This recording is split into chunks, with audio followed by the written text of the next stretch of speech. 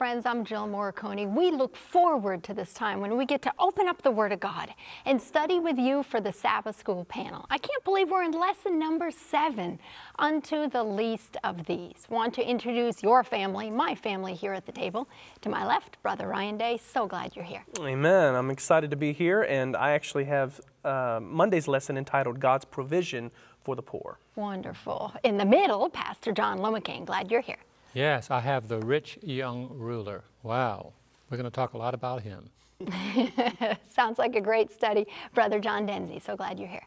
It's a blessing to be here. I'm talking about another rich individual named Zacchaeus. Oh, I like that. Then last but not least, Brother Daniel Perrin, who's a newer member of the Sabbath School panel family, and we're so glad you're here.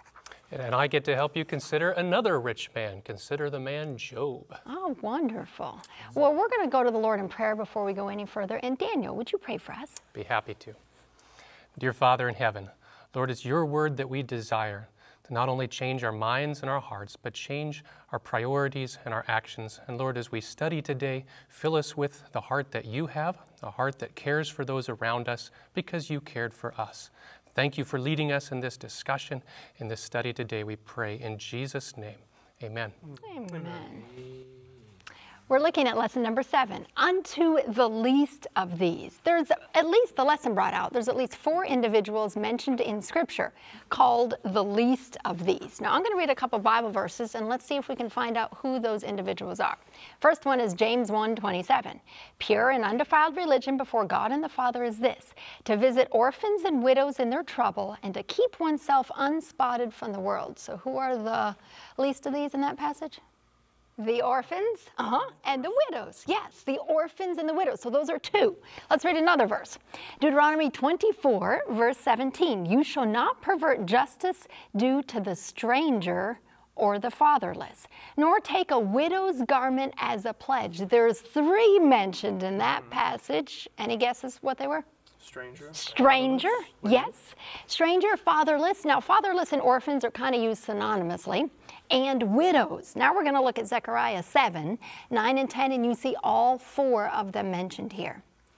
Thus says the Lord of hosts, execute true justice, show mercy and compassion everyone to his brother. Do not oppress the widow or the fatherless, the alien or the poor. Now, here it's referenced as alien, but it could also be stranger. Mm-hmm.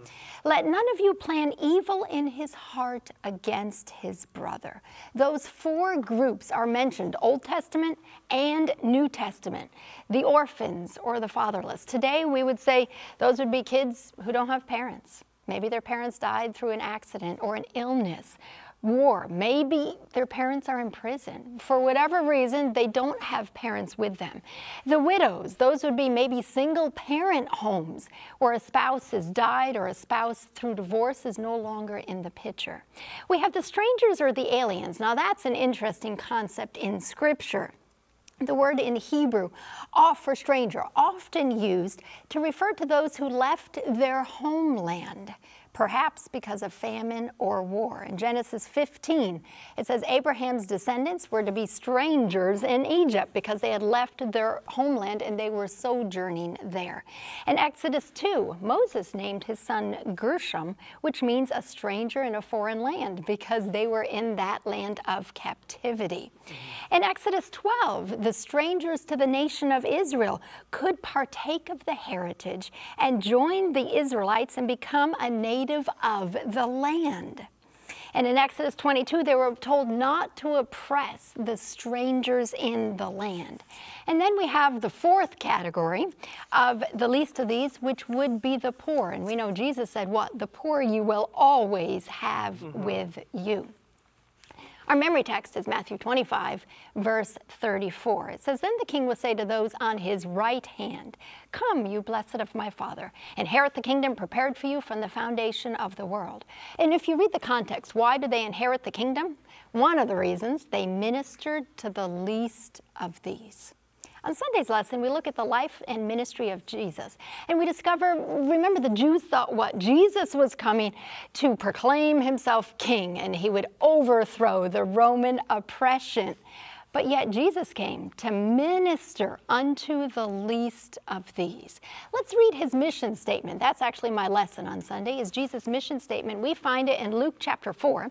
Let's turn there. We're going to read Luke chapter 4. We pick it up in verse 16. This is Jesus' messianic ministry being announced, or you could say his mission statement for coming to this world. He chose to announce his ministry of preaching, of healing, of liberty here in Nazareth. We're in Luke 4 16. So he came to Nazareth where he had been brought up. And as his custom was, he went into the synagogue on the Sabbath day and stood up to read. He was very well known by this time. In fact, verse 14 says that he had returned from Galilee and the news of him went out through all the surrounding regions. So Jesus was well known and the hometown boy, I say that with the most respect, but that's what we would say. He came home for a visit. He came to Nazareth and the people had heard of his miracles and they had seen what he had done. And then he comes into the synagogue. And what happens? Verse 17. He was handed the book of the prophet Isaiah. And when he had opened the book, he found the place where it was written. And here we see coming forward his mission statement. Of course, he's quoting from Isaiah chapter 61. In verse 18, the Spirit of the Lord is upon me because he has anointed me before we go any further, I just want to stop at that word anointed me. Remember Jesus at his baptism? What happened? The Holy Spirit descended like a dove in bodily form upon him. He was, you could say, anointed with the Spirit for his mission.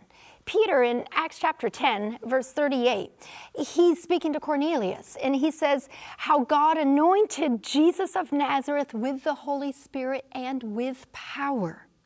Anointing is essential for service. We cannot work effectively for God without the anointing of the Holy Spirit, without the infilling of the Holy Spirit.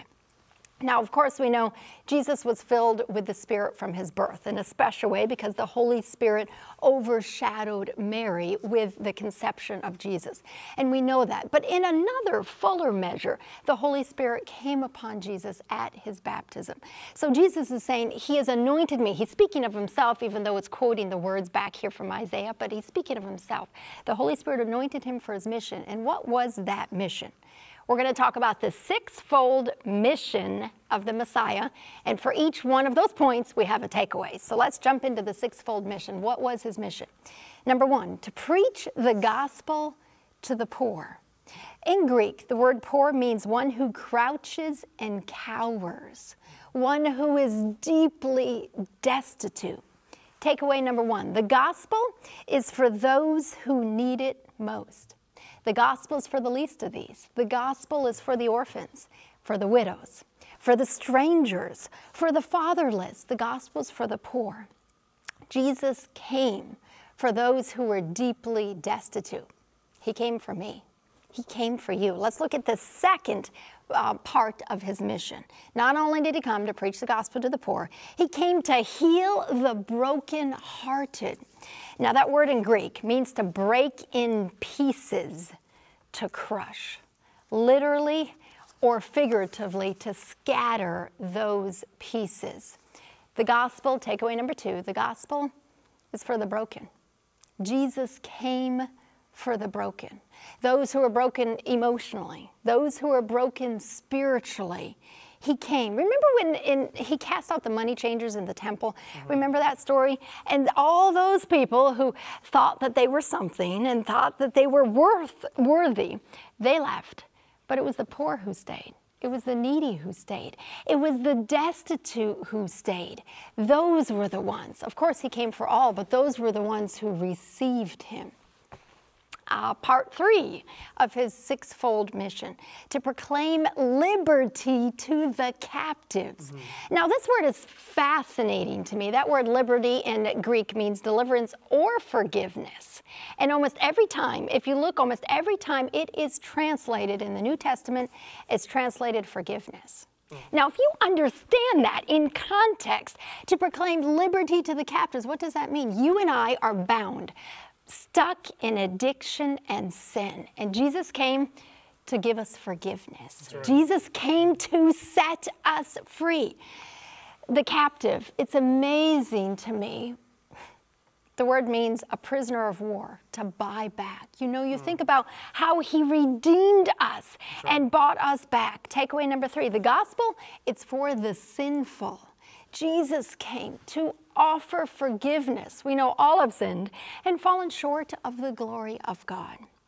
Let's look at the fourth part of his mission to grant recovery of sight to the blind.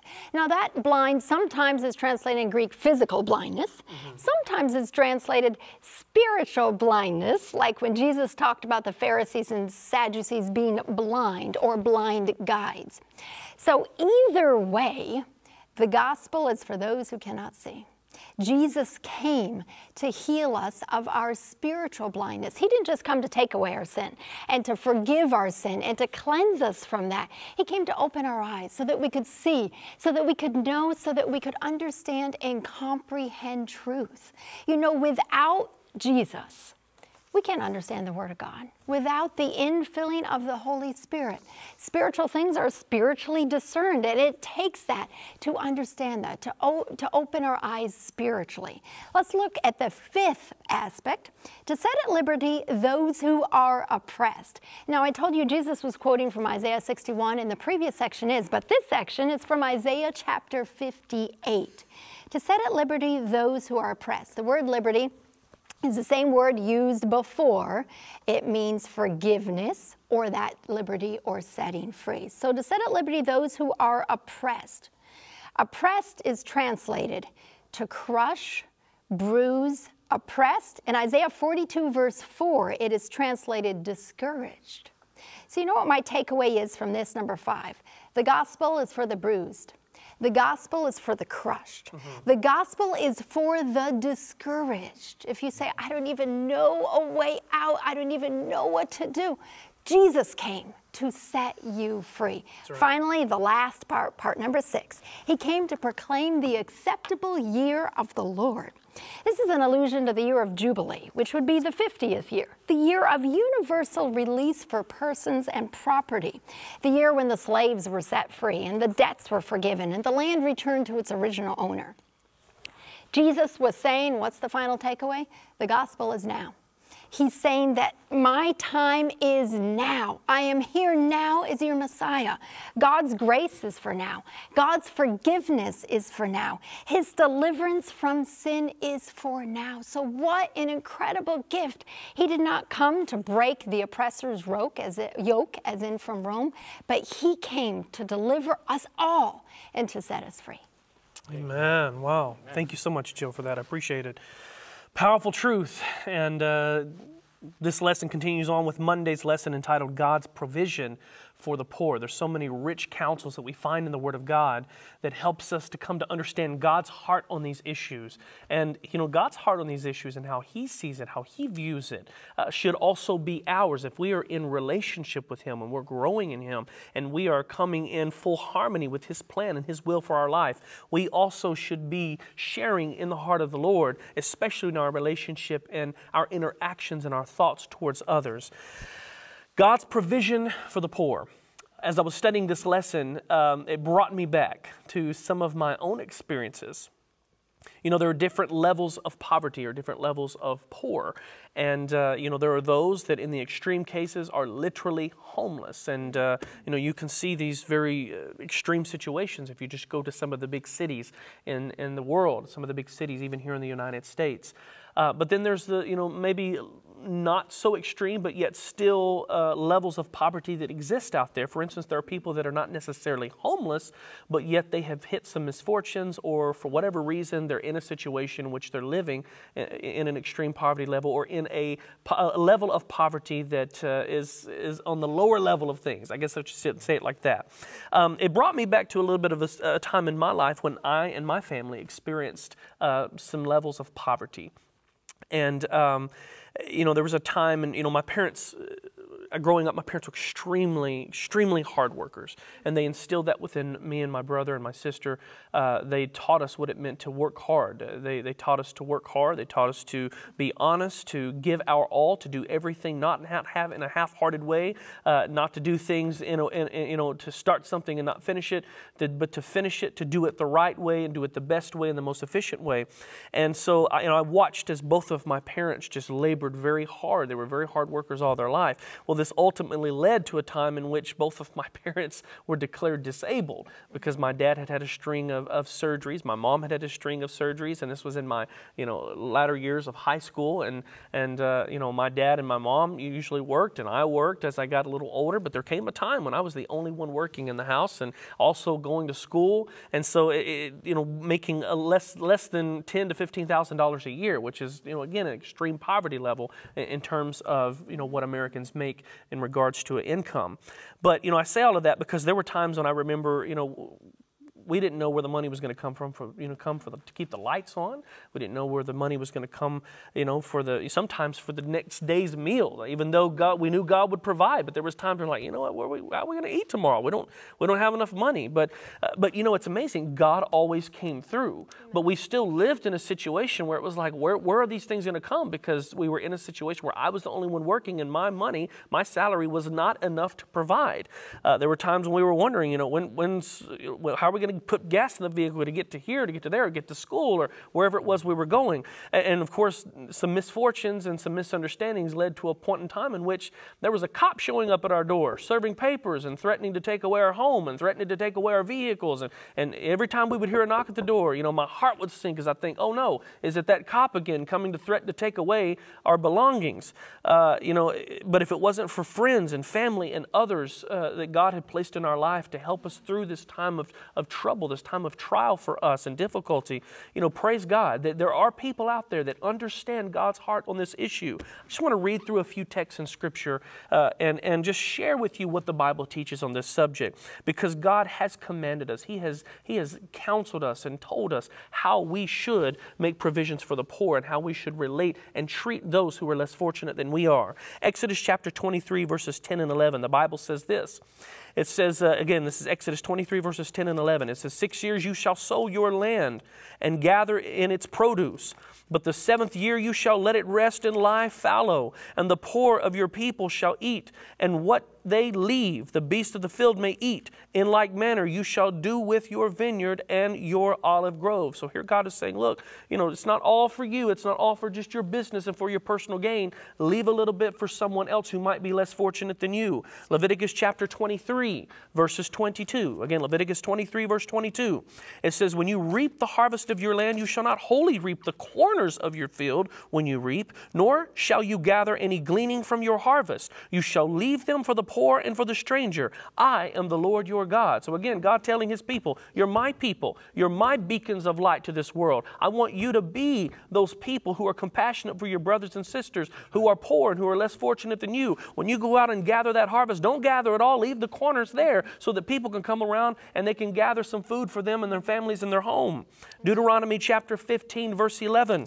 It says, For the poor will never cease from the land. Therefore I command you, saying, You shall open your hand while, while uh, wide to your brother. So you shall open your hand wide to your brother, to your poor and your needy in your land. So these are just some general principles that God uh, instilled within his people and commanded and counseled his people to do. Uh, also, we have a responsibility not just for the physical needs, but just the needs in general to be there, to represent, and to stand up for those in need. Psalm chapter 82, verses 3 and 4 makes it very clear. It says, Defend the poor and the fatherless, do justice to the afflicted and needy, deliver the poor and needy, free them from the hand of the wicked you know what? We are to treat others the way we would want to be treated. And I could tell you, being on, again, I'm not going to go as far as to say that we were homeless and that we were in the extreme, extreme extremes, but I've been in this situation and I have a heart for people who, who because I've been there and I know what it's like. Um, and the, the lesson just goes on and brings out, it says, Then there are promises to those who help the needy. And it gives Proverbs 28, verse 27, which says, He he who gives to the poor will not lack. That's a beautiful promise. Uh, Proverbs 29, verse 14. I know these are rapid fire uh, scriptures, but just go with me on this. Proverbs chapter 29, verse 14. The king who judges the poor with truth, his throne will be established forever. And of course, the lesson also brings out, and King David noted in Psalm chapter 41, verse 1 Blessed is he who considers the poor. The Lord will deliver him in time of trouble. So these are promises that are given to us if we will share in the heart of God on these issues. It goes on to say, This then always had been a priority in ancient Israel, even if at times it had been lost sight of. In contrast, though, I get this, and this really, this really hit home. In contrast, even in modern times, particularly in England, Western Europe, under the impact of what was known as social Darwinism, Many thought that not only was there no moral imperative to help the poor, but that it was in fact wrong to do so. When I read this, my mind immediately went to, you know, I've met a lot of Christians with this mindset, professed Christians, I'll say that. I've met a lot of people in this culture, especially in our time. We have this mentality, well, they need to help themselves. And so we don't need to help these individuals because they have a problem, they're just lazy. Now, are there, is it truthful that there are some lazy people out there that need to get up and do something for themselves and to provide for themselves and their family? Family, absolutely. And so I'm not saying that, you know, everyone falls into this category, but at the same time, there are people in need out there that have experienced misfortunes that we cannot throw under the bus and put into the category that, well, I just need to help themselves. It's, it's wrong for me to help this person because I'm enabling them. Well, that's not always the case. I remember there was a time when me and my family were on EBT food stamps. And that was a difficult thing because in my culture, especially in the South, you'd hear people say, well, you know, them people on EBT, I'm just paying for their groceries. And I'm just, and they have all these ideas where it's, it's, this, it's a harsh mentality of I'm the one paying to support this family and my tax dollars are going to help these people that could go out and get a job and do for themselves. Well, you know what? I can tell you with absolute certainty that we were a hardworking family. We went through some misfortunes and praise God for them EBT food stamps during the time that they were provided to us and given to us that it was a very much of a help. Now, praise God, God also brought us out of that because the happy ending of the story is there came a time in which my father was able to gain a little bit better health. My mother was able to gain a little bit better health. I was able to become of age where I could get a better job. And we let go of those food stamps because we no longer needed them. And God brought us out of that through blessings down the road. But my friends, we have to understand that the Bible does not have, does not place upon us this mentality always for those who are in the poor that everyone should just help themselves themselves and figure out their own problems. God has placed us there to be a blessing to others and to give and share the heart of the Lord and being there for them when they are needed. Instead, it says, following the forces of nature in which the strong survive at the expense of the weak, social Dar- Darwinists believe that it, is, it would be deter- uh, detrimental to, to society to help the poor, the sickly, the uh, indigent, because if they multiplied, they would only weaken the social fabric of the nation as a whole. Uh, and this is just a cruel thinking. This is not the heart of God. You know, and I, I had another passage I was going to read, but I don't have enough time. But go read Revelation 18. Go read Revelation 18 and look and see how God will bring punishment upon those in the end who have built wealth off of, off of the lower class people, who built wealth off the needy, and who have, you know, just hoarded all the riches and all the wealth for themselves and not sharing. They, they will meet their demise. My friends, God has called us to love one another as we love ourselves and as He loves us. And that, my friends, is what we see here in Monday's lesson God's provision for the poor. Let us read the Bible and let us bring our lives in harmony with his counsel. Amen. Thank you so much, Ryan. What a wonderful reminder to each one of us. We're going to take a short break. We'll be right back.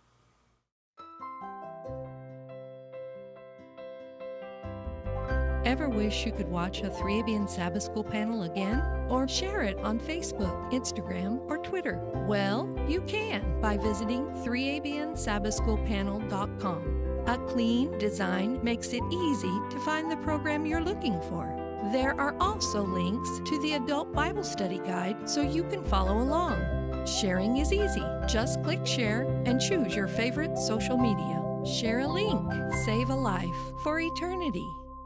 Welcome back to lesson number seven, our study on Unto the Least of These, and we continue the study with Pastor John Lomacang. Yes, and I'm talking about the rich young ruler, which describes our society today.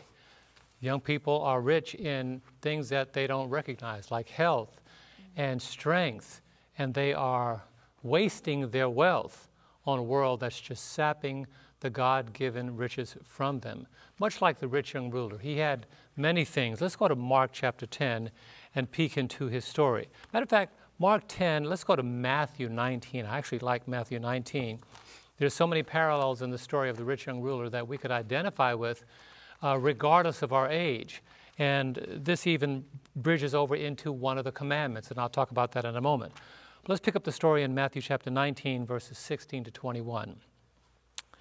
And behold, one came and said to him, Good teacher, what good thing shall I do that I may have eternal life? The first takeaway or the first application is this there's a presumption that or an assumption that there's something good that we can do. Mm. You know, like people say, why do bad things happen to good people?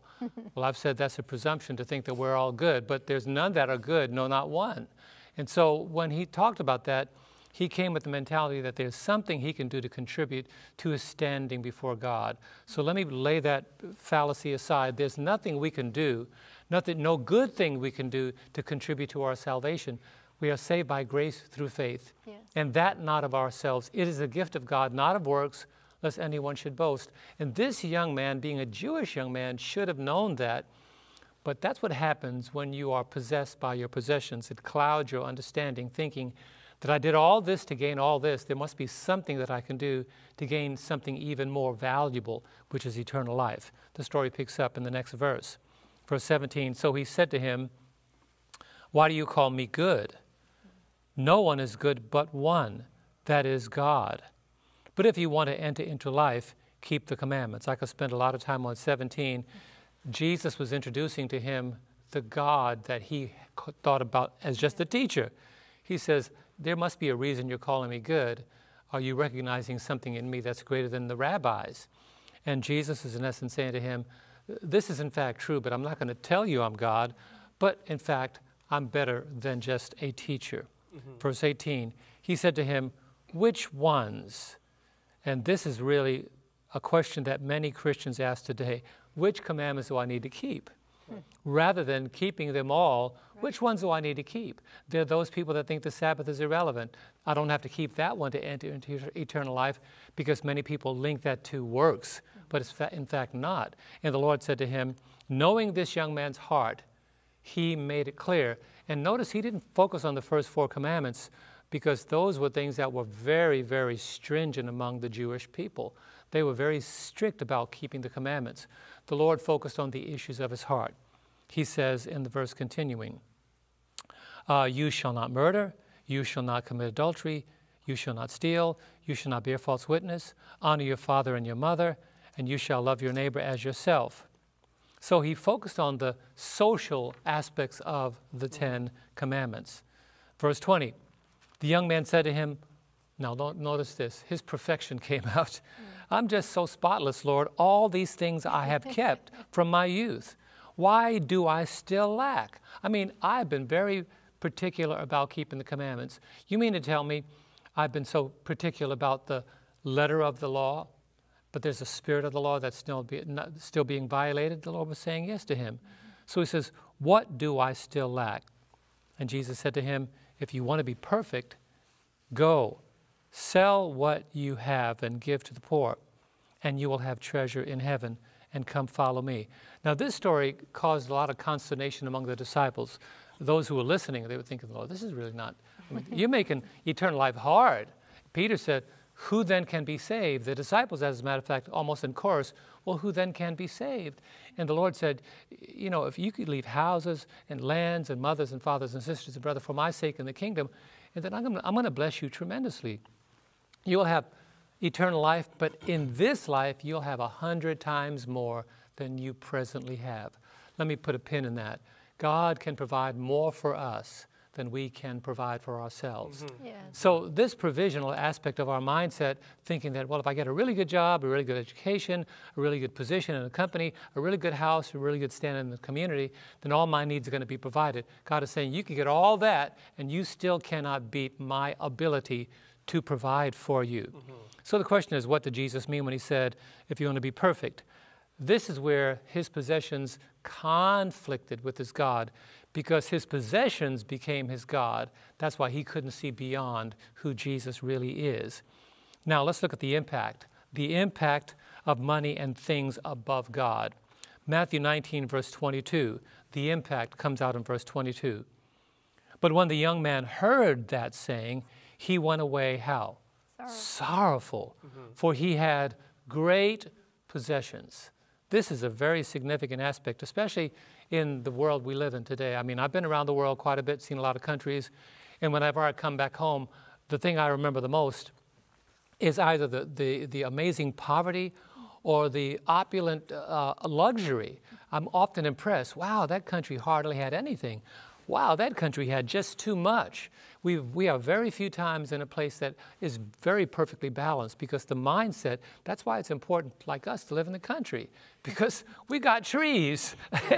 we got an abundance of trees. That's we right. could breathe clean oxygen. Praise God for that. We don't walk out of our doors every day and think, let me go to the mall across the street. no, across the street is a field. We don't even have a stoplight. so it helps to kind of minimize the mentality of possessions when you live out in the country. But the impact of it is verse 26, the impact of money on the things on things, the impact of money and things on salvation. Matthew, Matthew 16, 26. For what profit is it to a man if he gains the whole world and loses his own soul? Or what will a man give in exchange for his soul? Yeah. When you're grasping for things, remember that passage. Even when it's brand new and shiny, in just a short period of time, it loses its impact on satisfaction. When a person is ill and near death, they don't say, I need more possessions. Mm-hmm. They're praying for more time. Right. Don't let your possessions possess you. Secondly, uh, don't allow yourself to be covetous. Don't let your possessions covet you or covet your possessions. Let's look at a couple of examples. Luke 12 and verse 15. And he said to them, Take heed and beware of covetousness, for one's life does not consist in the abundance of the things he possesses. When you die and all that stuff is left behind, who are you going to give it to? Nobody ever went to the cemetery with a U-Haul. Nobody ever got buried in a mausoleum of stuff. Now, in Egypt, they did that but nobody was rowing boats when they got into that tomb. They turned to dust, and those boats stayed there and stayed in those, those, those tombs for, for decades, for millennia, as it were. Possessions often affect people's lives. Like, for example, Abraham and Lot were affected by their possessions. Look at Genesis 13, verse 6. Now the land was not able to support them that they might dwell together. For their possessions were so great they could not dwell together. That's how it happens in some family members. Some homes are so packed with stuff. You move into somebody's house, you bring your stuff.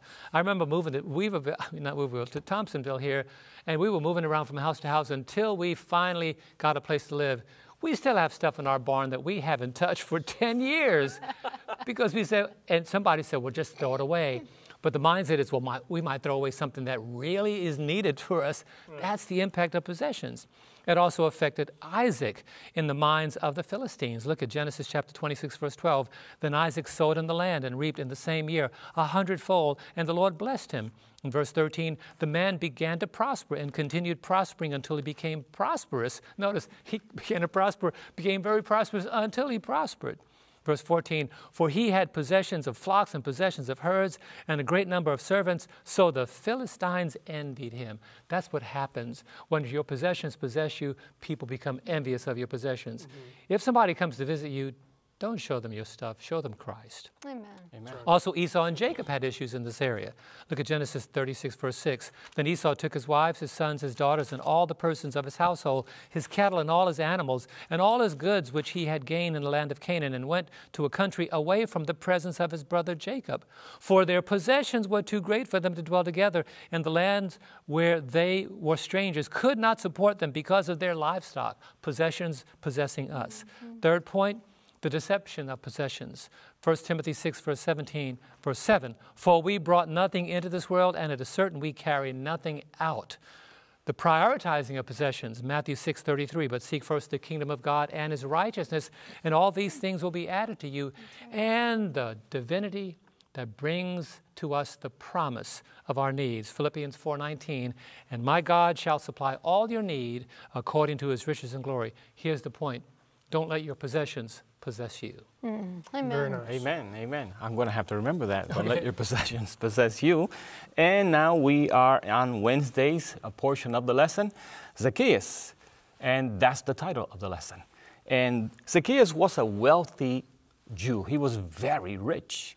And we take his story in Luke chapter 19. Please join me eh, beginning in verse 1. Then Jesus entered and passed through Jericho. Now, behold, there was a man named Zacchaeus who was a chief tax collector, and he was rich. The Bible says. Now, here we see something interesting. The, the, the tax collectors or publicans, as you have also they've been referred to, they were considered uh, that they had gained their riches through taking more than they were supposed to. And they were hated. They were hated, but here we have Zacchaeus that he's a chief tax collector. So you may consider that if they hated the regular tax collectors, they hated him more because he was a chief tax collector. And notice how we see verse 3 and he sought to see who Jesus was, who could not because of the crowd, for he was a short he was of short stature. And perhaps some people are remembering that little song Zacchaeus was a wee little man, a wee little man was he. and so, because he was short of stature, it says in verse 4 uh, so he ran ahead and climbed up into a sycamore tree to see him. Who knows when the last time was that he climbed the tree. But because Jesus was coming by and he was eager to see him, it says that he ran up into and, and climbed up on a sycamore tree. For he was going to pass by that way. He calculated his move and he was going to take a look at Jesus. Apparently, he wasn't even interested in talking to him. He just wanted to see who Jesus was. And when Jesus came to the place, he stopped. Hmm. He looked up and saw him and said to him, Zacchaeus, make haste and come down, for today I must stay at your house. Wow! I love that part. What a wonderful thing to hear for Zacchaeus. He got even better than he hoped. Jesus coming to my house? He knew that people didn't really like him, but here comes Jesus to his house. You know, and I think Jesus wants to come to your house as well, wants to come to my house. And uh, would you do the same? Make haste and make preparations for Jesus. Now, uh, it says there in verse 6 so he made haste and came down and received him joyfully. But when they saw it, now here are the people. The people sometimes uh, create problems for us, don't they? So he, uh, when the people saw, they all complained, saying, He has gone to be a guest with a man who is a sinner. Now, isn't that interesting that sinners call other people sinners? and, and apparently they're trying to say, well, we're not sinners. They are really saying he's worse than we are. Why is he going to their house? And I take you now to Luke chapter 5 because here's an interesting uh, story that we must consider as we talk about Zacchaeus. And we're also comparing a little bit the rich young ruler and Zacchaeus. Let's look at Luke chapter 5 really quick and begin in verse 27. After these things, he went out and saw a tax collector, that's Jesus, uh, that he, was, uh, he saw a tax collector, named Levi or Levi, sitting at the tax office, and he said to him, Follow me. So he left all, rose up, and followed him. That's Luke chapter 5. Uh, then uh, uh, Levi or Levi uh, gave him a great feast at his own house, and there was a great number of tax collectors and others who sat down with them. And their scribes and the Pharisees complained against his disciples, saying, Why do you eat and drink with tax collectors and sinners? Hmm. Jesus answered and said to them, Those who are well have no need of a physician, but those who are sick. I have not come to call the righteous, but sinners to repentance. Mm. Love it. And this is why Jesus went to the house of Zacchaeus. So, as we consider uh, this story, we must uh, consider that Jesus went there not to have a good meal. Jesus went there because this man needed salvation. Amen. And the Bible doesn't tell us what, what conversation they had but it's, uh, the result of Jesus being there tells you that it was a conversation that drew Zacchaeus to Jesus. Drew Zacchaeus to Jesus to understand that he needed the salvation that Jesus came to offer. Now, let's go back uh, to Luke chapter 19 and go to verse 8. Then Zacchaeus stood and said to the Lord, Lord, Look, Lord, I give half of my goods to the poor, and if I have taken anything from anyone by false accusation, I restore fourfold. Wow. Now, this is a marvelous thing that he said. And notice uh, verse 9 And Jesus said to him, Today, there must have been joy because the Bible says there's uh, joy, more joy in heaven over one sin that repents right. than over 99 who need no repentance. And Jesus surely was full of joy. And Jesus said to him, Today salvation has come to this house hmm. because he also is a son of Abraham. Praise the Lord. When Zacchaeus heard that, he must have rejoiced to understand hey, you are accepted. You are a son of Abraham. Right.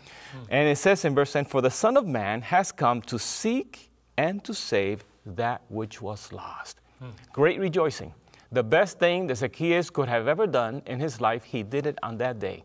Went to see Jesus, went to find, made time to spend time with Jesus or to just uh, look at him. But here Jesus went further. You know, the Bible says that Jesus came to seek and to save that which was lost. That's right. Jesus knew that he would meet Zacchaeus that day. And this is a marvelous thing. Now I'm going to read to you from Desire of Ages, page 555. It says, No repentance is genuine that does not work reformation. The righteousness of Christ is not a cloak to cover unconfessed and unforsaken sin. It is the principle of life that transforms the character and controls the conduct. Holiness is wholeness for God. It is the entire surrender of heart and life to the indwelling of the principles of heaven. We don't have any record that Jesus says, "Hey, Zacchaeus, you're going to have to you're going to have to turn return things back and give fourfold." No, this came out of his heart. And we praise the Lord that Zacchaeus made that decision. Now, in the lesson, I'm going to read this from the lesson. It says, Zacchaeus and the rich young ruler had some things in common. Both were rich, both wanted to see Jesus, and both wanted eternal life. But here, the similarities stop. And that's a very good point that the lesson brings out. And it says, and notice that when Zacchaeus said that he would give half of my goods, Luke 19:8, to the poor, Jesus accepted this gesture as an expression of a true conversion experience. And the lesson brings this thing, thing out, and I think it's kind of cute, a little bit interesting. He, uh, he didn't say to him, Sorry, Zach. But like the rich young ruler, it's all or nothing. half is not going to cut it. Why? You see, the rich young ruler, his God became his possessions. He let possessions possess him. Mm-hmm. That was his idol. But apparently, to Zacchaeus, that was not an issue. That was not an issue for Zacchaeus. His possessions were not his God. When we look at Desire of Ages 555, we read this very powerful. When the rich young ruler had turned away from Jesus, the disciples had marveled at their master, saying, How hard, eh, notice I said rich young ruler. When the rich young ruler had turned away from Jesus, the disciples had marveled at the master, saying, How hard is it for them that trust in riches to enter into the kingdom of God? They had exclaimed one to another, Who then can be saved? Now they had a demonstration of the truth of Christ's words. The things which are impossible with men are possible with God. Mark 10 24 and 26 and Luke 18 27.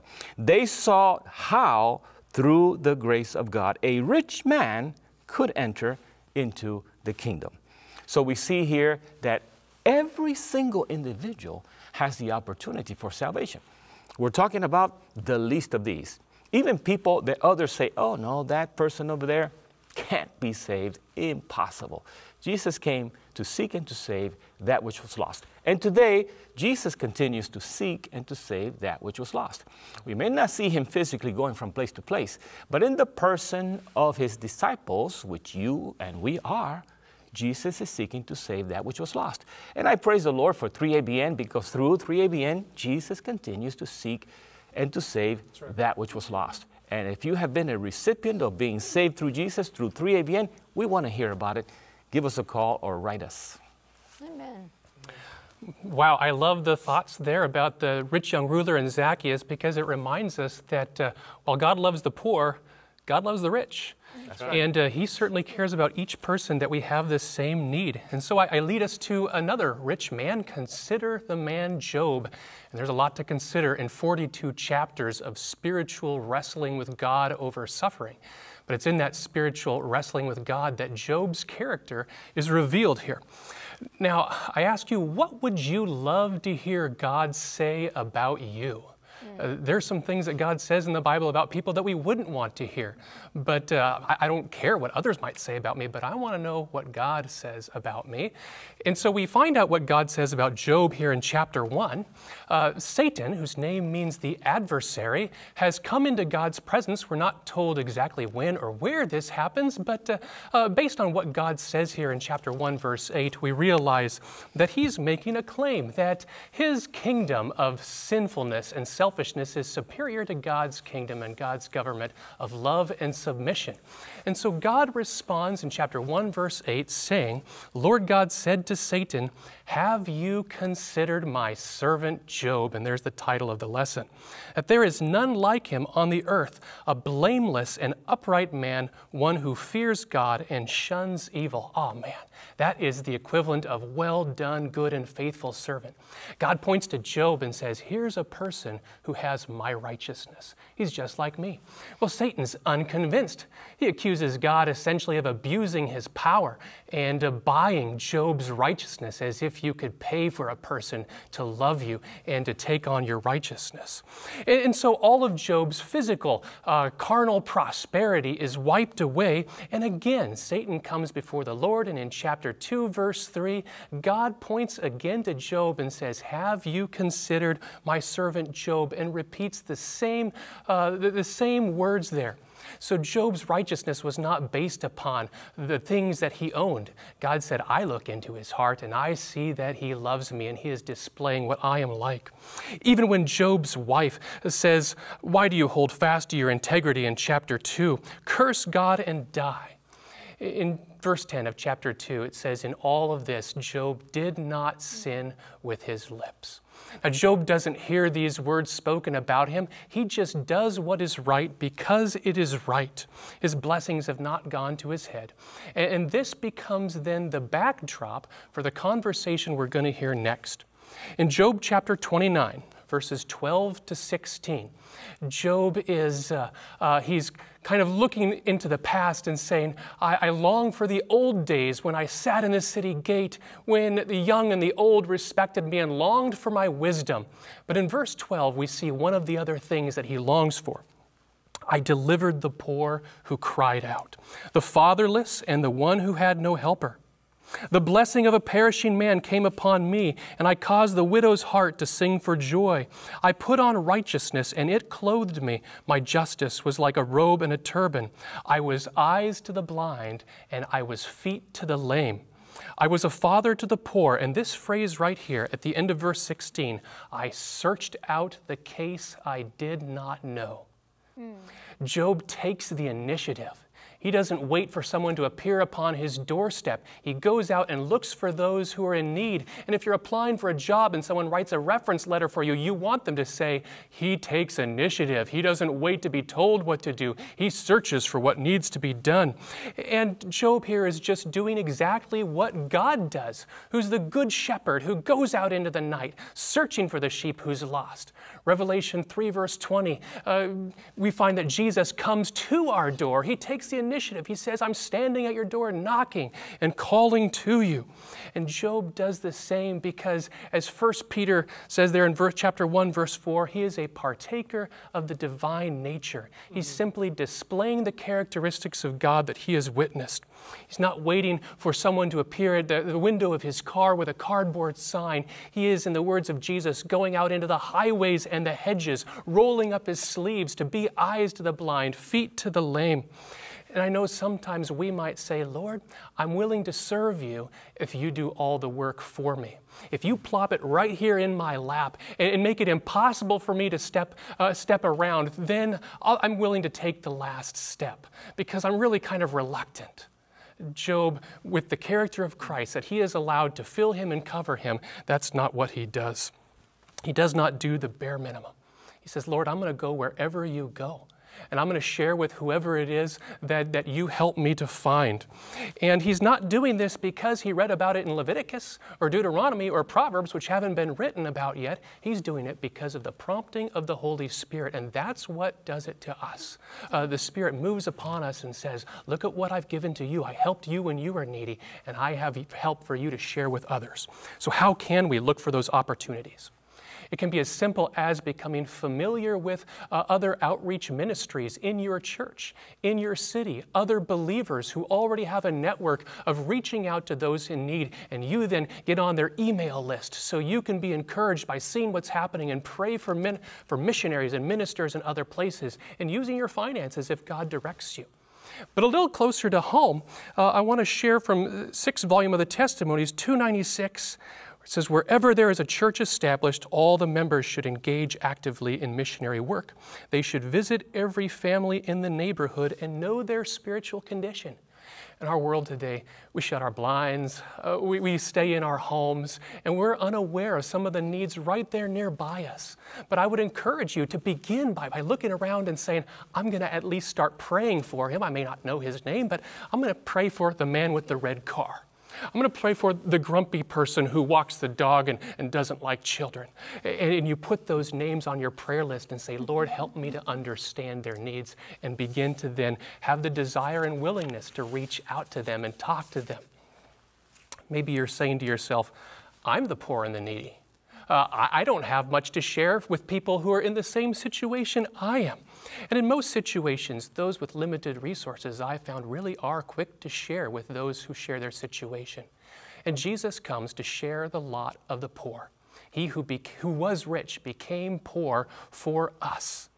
So, caring for those who are less fortunate is more than just money. It's saying, Lord, put upon my heart the needs of the others. Help me to become aware of the needs around me so that I can begin by praying for them and maybe sharing an encouraging word or pointing others to the resources that I have found that have been useful and helpful to me. In all of this, we should keep in mind uh, Romans chapter 13. I love verse 8 of Romans 13. It says, Owe nothing to anyone all right? And I know in a previous lesson we talked about staying out of debt. And so Paul confirms that here. But he says, Owe nothing to anyone except to love one another. Mm-hmm. Now, when we think about finances, we think about business, we want to be in the black. We don't want our accounts to plunge below zero and to be in debt. And, and, but when we think about our spiritual life, God says to us, I want you to recognize that you're always living in the red that you always have a debt that you cannot pay. Based upon the priceless gift that God has paid for you, you need to then pay it back, but recognize you can never pay it back. And we begin to pay it back by looking around us and saying, Lord, are there those around me who are also in need? I should not ever get to the point where I say, I'm even with God. Mm. Uh, I've, I've given my amount that then equals his sacrifice to me. Uh, listen to what Paul says in Romans 1 14. He says, I am a debtor both to Greeks and barbarians, to the wise and the unwise. Look at what God's given to me, and I know it. And there are those out there who don't know it. It's not just their physical needs that need to be met, but their spiritual needs, those suffering. And, and as we meet the, the physical needs, it gives us opportunity to say, Let me share with you what God has done for me.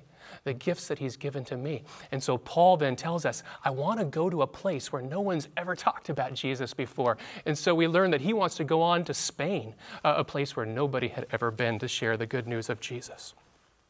A final point as we consider the man Job, take you to Job chapter 22, verse 6 and 7, and we're listening to Eliphaz, one of his friends. And listen to what he says in verse 6 and 7. For you, he's talking to Job now, for you have taken pledges from your brother for no reason and stripped the naked of their clothing. You have not given the weary water to drink, and you have withheld bread from the hungry. Now, we've already heard God's testimony about Job, and maybe sometime in the past, Job had, had been like that and his character had changed. But I want you to notice here that when we give and share with others, it may not get a response, a human response here on the earth. In fact, people might not even witness it, notice it, and it might be misrepresented. But God knows the heart, and we don't serve and we don't give for the accolades and the applause of others. We simply do it because of what God prompts us to do do because of what He's done for us. Amen. Thank you so much. What an incredible study, Daniel. Each one of you, uh, Brother Johnny and Pastor John and Ryan, thank you for your study of the Word of God. You've blessed my heart today. I want to give you an opportunity for closing thoughts. Absolutely. You know, it, it simply all comes down to Philippians 2, verse 5 for me. Let this mind be in you, which is also in Christ Jesus. Mm-hmm. Jesus had compassion on those who, who were in need and even had compassion on those who were maybe physically or, or, or carnally or worldly rich, but were spiritually lost. We should also share in that compassionate heart of Jesus Christ. Uh, you may miss your greatest opportunity for eternal life if you think that your possessions can contribute in the least to giving you eternal life. Be willing to let go of what possesses you so that Christ can possess you. Amen. Thank you so much. Ezekiel chapter 33 15 says, If the wicked restore the pledge, give again that he had robbed, walk in the statutes of life without committing iniquity, he shall surely live, he shall not die. We see Zacchaeus not only was willing to give one, he was willing to give fourfold. This is evidence of genuine repentance. Praise the Lord. Opportunity for all is there in Jesus. Amen. Thank you. When we consider the man Job, we remember that he was simply wearing the character of Christ. He didn't seek out the needy because of his goodness, but because of God's goodness. And so when we consider the man Job, he points us to consider the Son of Man who came to seek and to save the lost. And that's where we should look. Amen. Thank you all so much. Just so grateful for this opportunity, this time we have to study together. And we love sharing this time with you at home. You are part of the 3ABN family. Whether the Lord has blessed you with much and He's asking you to share that with others, or whether you don't have so much and the Lord is going to bring someone to your doorstep to help move that forward. Know that we love you and we pray for you. I want to leave you with this verse. This is Hebrews 13 16. Do not forget to do good and to share, for with such sacrifices, God is well pleased. What a blessing to mm-hmm. submit our lives to God and to then share with those who are in need. Join us next week, lesson number eight Planning for Success.